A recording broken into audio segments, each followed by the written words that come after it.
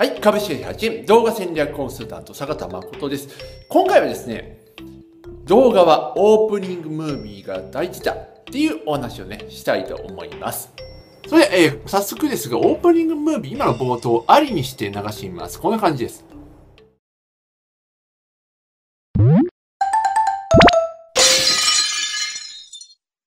はい、株式会社動画戦略コンサルタント坂田誠です。今回はですね、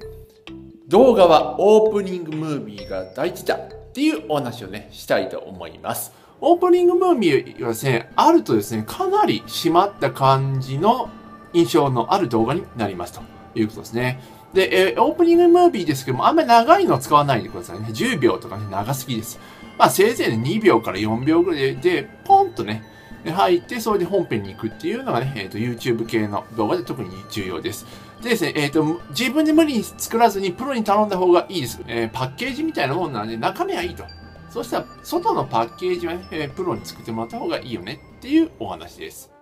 動画増えましたけども、えー、オープニングムービーあるとなしっていうのは非常に大きい差があるということで、ぜひね、えー、そういったものも駆使しながらね、えー、すごいお客さんにインパクトのある見られる動画っていうのを作っていってください。情報はまたブログの方にどうぞ。YouTube のチャンネル登録もお待ちしております。以上、株式会社発信動画戦略コースタント坂田誠がお送りしました。